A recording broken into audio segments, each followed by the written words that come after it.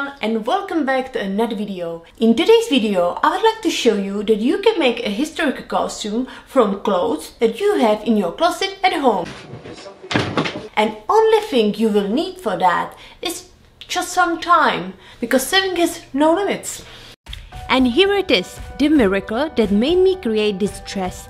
I originally wanted to throw the skirt away, but when I saw this 1820s dress in Janet Arnold's book called Patterns of Fashion, it occurred to me to use the skirt to create pleated panels.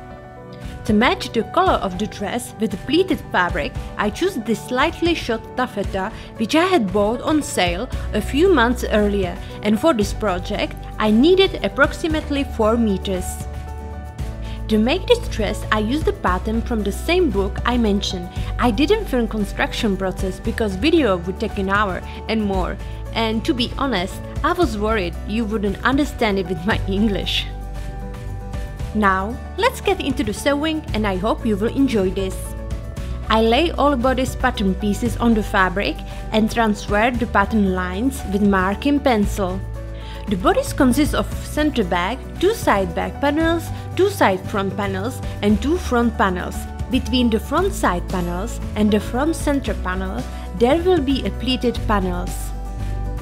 Skirt pattern is consists of four pieces, one large that I lay on the fabric fold to form the back of the skirt, two narrow pieces to add volume to the back of the skirt, two center front panels and two side front panels. But since I was struggling with a great lack of fabric, I had to adjust the pattern so that I narrowed the skirt panels. I didn't make the paper pattern, but I immediately redrawn the pattern on the fabric to see how much fabric I had left. After I cut out all bodice pieces, I pinned the back side panels to the center back with right sides together. Then I pinned the back side panels to the front side panels. Then I sew it together on my sewing machine. Then I set the bodice aside and I started to make pleated panels. Since various the pleated fabric stretch a lot, I glued the pleated fabric with a cotton canvas, so then the fabric was even and it didn't stretch a lot when I sewed with it. First, I thought, no, no, no, no, it will be fine, I don't need it interface it, but the fabric stretched a lot. After glue has dried, I pinned the pattern to the fabric, aligned the grain line along the fabric's grain, and then basted around the edges. Then I cut out the panels.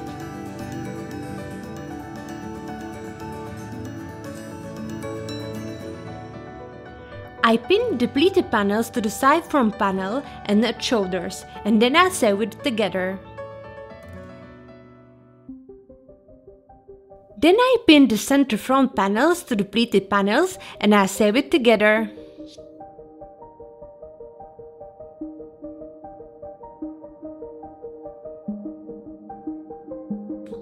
Next step was cutting out stripes of fabric to create crossway bands.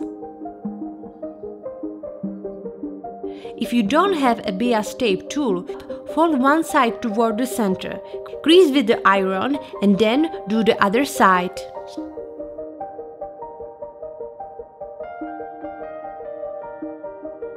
Then I pin and sew on the bands in place of the seam and then one band to the middle of the pleated panel.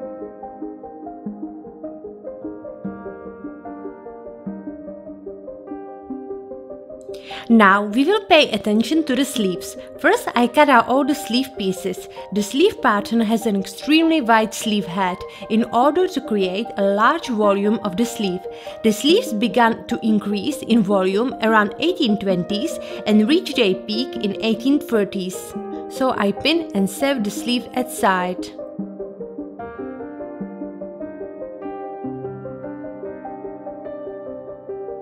I gathered the top of the sleeve and with the right sides together, I pinned the sleeve into the armholes opening and then I basted.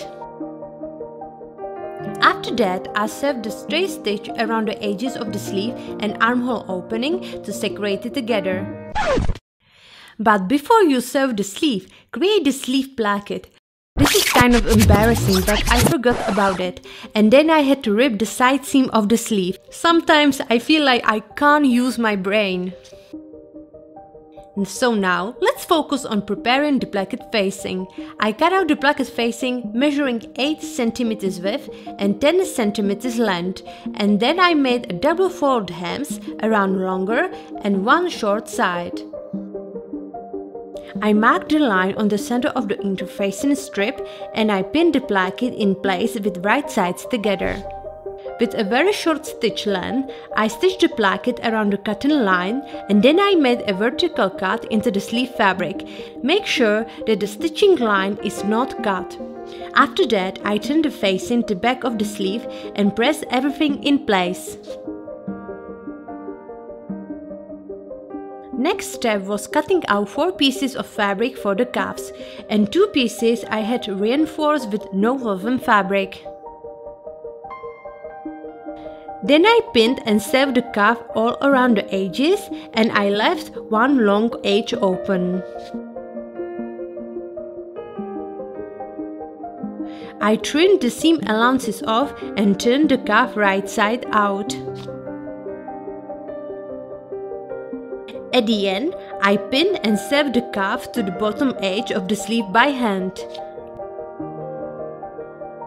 You might say that it would be easier to sew a cuff to the sleeve with a sewing machine before sewing all the edges of the cuff, but for some reason I decided to do it this way and I have no good reason for that. To finish the cuff, I sew on the hooks and eyes.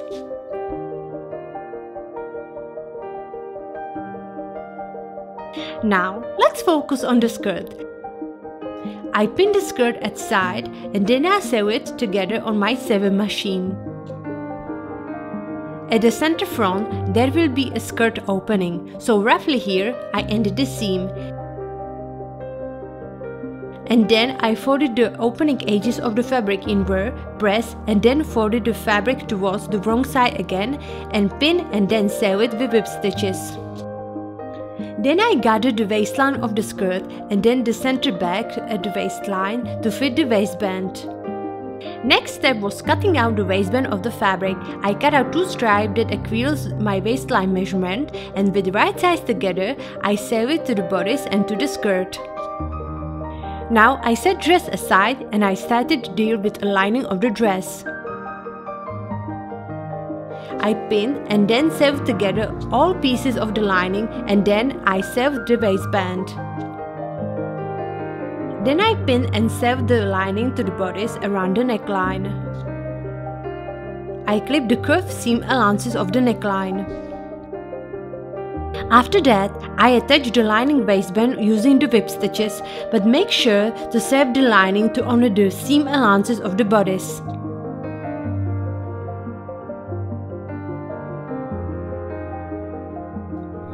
Next step was sewing together the lining and outer shell around the center opening edges with whip stitches. The shell and lining are placed with wrong sides together so that all seam allowances are turned inside.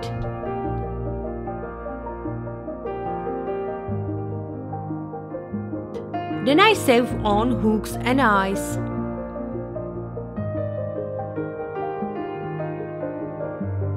Using the running stitches, I sewed the lining to the seam allowances of the garment.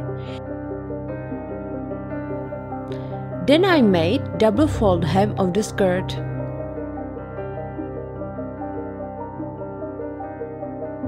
We are almost done, but before we get to the grand reveal of the dress, I'll show you how to create a little gadget to help you stop the sleeve.